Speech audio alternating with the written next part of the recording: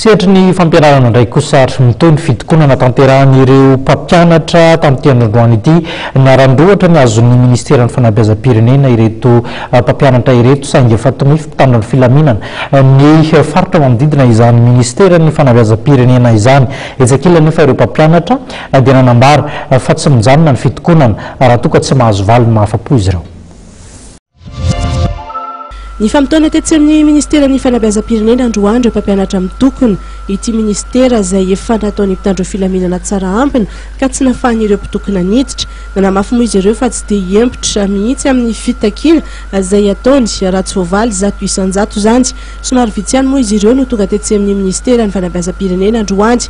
Ny fahatahoran'ny sasany ny ho voasambotra no tena antony mahavitsy azy ireo raha ny fanazavan'ireo mpitarika. Iantsika mahita nanao fanambarany, nanao fandaharana mihitsy ny Ministry ny Education Nationale dia zavatra tsy nahafapo anay ilay zavatra nandeha teo.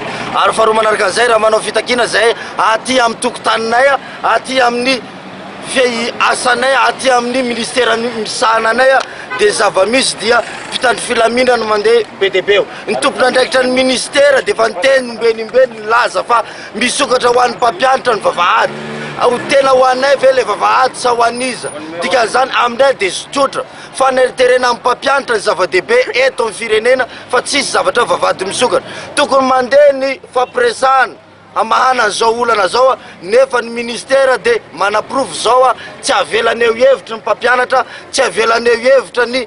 ny olompirenena ary zahay dia tsy hijanona amin'ny ty olona ataonay avela zahay dia tonga eto amin'ny ar tonga eto amin'ny arabe amin'izay moramora ny mpitandro filaminana misambotra anay fa maninona fa tokotaninay io ministera io aho fa maninona izay raha avela malalaka makao satria ho menatra ministera ho feno hipoka io tokotany io aho satria efa ho tonga saina daholo ny mpampianatra efa tsy hanaiky ny teritery hameno ny use eto Fa noho ny hoe avoaka eto amin'ny arabe zahay a dia matahotra ho ny mpampianatra sao voasambotra dia zao ny vela-pandrika ataon'ny fitondrana mba hanamborana anay mpitondra, hampanamborana anay mpitarika fa zahay tsy matahotra n'in'inona ataon'ny fanjakana fa zahay tsy maintsy mitaky satria marary anay mpampianatra zao mahazo anay zao a. Mihenjan-droa izany ny tady eo amin'ireto mpampianatra mitokona ireto sy ny minisitera satria ity farany dia efa nampahafantatra ny laharam-pahamehana tokony hizorana dia ny fampidirana ho mpiasam-panjakana ireo mpampianatra Fram.